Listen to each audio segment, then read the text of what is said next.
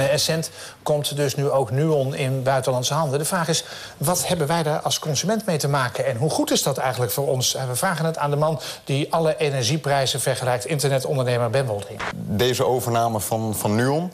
Ehm, denk ik dat op zich eh, positief kan uitpakken. In die zin dat de concurrentie eh, wel eens kan, kan toenemen in Nederland.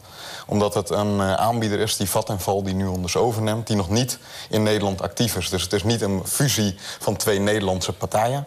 Het is gewoon echt een buitenlandse partij die nog niets in Nederland voorstelt. Ja, die wil natuurlijk ook groeien. Terwijl er geen energieklant in Nederland bij komt. Weet u bijvoorbeeld wat u betaalt aan energie? Ik heb echt geen flauw idee. Marieke? Nou, ik moet zeggen dat ik de laatste maanden geen rekening meer heb gezien. Ik weet het ook, ook niet. Ik kijk nooit naar een rekening. Ik vind niet dat ik veel moet stoken. Ik vind het goed om uw eh, lichaam uh, aan te passen aan, aan, aan de koude. Hè, wat ongezellig lijkt me dat. Uh, nee, ik ben een heel ongezellige man. Ik ben, als, ja? ik, studeer, ik ben voortdurend aan het studeren. Een jaar geleden uh, zat ik zonder verwarming. Heb ik een jaar zonder verwarming gezeten. En heb ik geleefd zonder verwarming. Wonen er ook andere mensen bij nee, ik, woon, nee ik, studeer, ik ben een, een kluizenaar. Ik woon vooral alleen. Ik studeer uh, voortdurend. Dus ik ben eigenlijk altijd uh, bezig met, met mijn werk. We zijn zo het man bij het hond terechtgekomen. Maar er zijn steeds meer mensen die echt overstappen... van de ene aanbieder naar de andere aanbieder. Omdat het voordeel nog nooit ja, zo groot geweest is als op dit moment. Hoe ziet een gemiddelde gamer eruit? Hoe oud is die? Uh, 12, heeft pukkels, een brulletje, een brilletje. Nee, uh, gamers die zijn... Uh, gamers die zijn tegenwoordig ja, eigenlijk alle soorten en maten. Wat jullie maken is bijvoorbeeld Killzone 2. Laten we even kijken naar de trailer.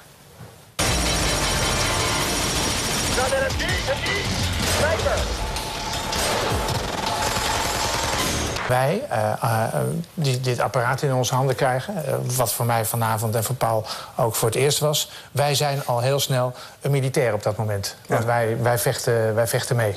Dit is Brian Cox, bekend van Troy van X-Men... Uh, en hij spreekt de stem in van, uh, van Vazari. Dat is eigenlijk de grote vijand, de nemesis in het spel die uh, je moet uitschakelen. we gebruiken hem tegelijkertijd voor, voor de bewegingen van zijn lichaam... maar ook van zijn gezicht en zijn stem. Het is pief, paf, poef, ja. all over the place. Ja. Hoe komt dat toch dat mensen voortdurend, als ze dit soort spellen doen... willen schieten? schieten. ja, oorlog vroeger wel eens cowboytje en indiaantje gespeeld? Vroeger. Heel vroeger, ja. ja maar wij doen het nog steeds. Ziet u zichzelf nog in een soort morele rol? Van, uh, ja, het gaat een beetje te ver. Wel, dit is allemaal zeer levensecht, hoe, hoe die mensen overhoop worden geschoten. We maken een entertainmentproduct voor, uh, voor 18 jaar en ouder. Dus volgens mij iedereen hier aan tafel, behalve misschien Ben... Uh... Ben, sla erop.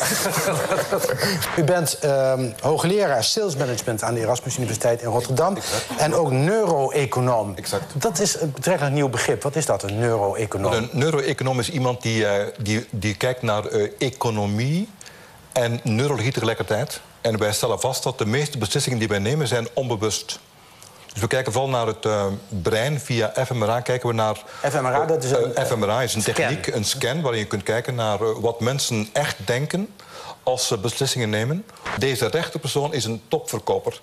Ik noem het graag een uh, serial verkoper. Deze man haalt de ene deal na de andere binnen. Ja. En die andere persoon is minder goed, is meer shy, meer teruggetrokken. En goede verkopers kunnen heel goed zien en voelen wat er zich afspeelt in het brein van die klant. En, gaan er, en speelt er ook, ook wat heet op in. En voelen dat ook. Waar zit in die hersenen het muzikaal talent? Of het nou van Marieke is of wie dan ook? Uh, wel, onder meer zal dat zitten in het cerebellum. Dus dat is, ik zal dat even eruit halen. Uh, dat is dit hier, dat is dit deel. Wat? Maar wat zegt, wat zegt nou die activatie dan over je gedrag? Want die ja, nee, dat is een goede Kijk, dat, nee. dat... Deze vraag had ik verwacht. Kijk, deze vraag had ik ja. van, van hen verwacht. Ja. Kijk, hè, dat is nou het interessante. Het gedrag is een functie van de hersenen. Dus kijk eerst naar de hersenen en ga dan naar het gedrag. Okay. Ik zie een hele oude vrouw met een, uh, met een pistool. En ik vraag me af, wat doet zij met dat pistool? Ja, dat vroeg je af, want, want het, de, deze foto staat volgens mij ook op je album. Ja, het is een hele angstige vrouw. Ze was bang voor de omgeving, voor de mensen, voor de wereld, voor alles waarschijnlijk. Dus zij liep eigenlijk continu met dat pistool. En die fotograaf die heeft haar, uh, die heeft wel toenadering gevonden, want zij was stervende toen en ze wilde heel graag terug naar de geboorteplaats. En toen heeft hij, die fotograaf heeft haar een lift aangeboden. Toen heeft ze twee of drie dagen op de achterbank gezeten met het pistool op schoot. Het Tot de laatste adem. Het heeft jou geïnspireerd.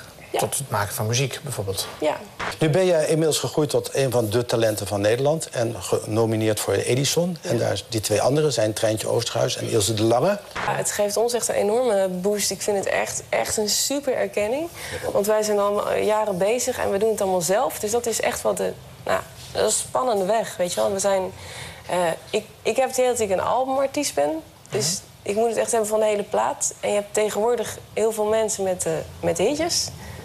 En die worden, dat, dat wordt een hype. Dat wordt in één keer omhoog eh, geschoten. Eh, dan kan het heel snel gaan. Maar wij zijn echt van het bouwen. Nou, dat, dit hoort er niet echt bij, geloof ik. Tell your lover to come over.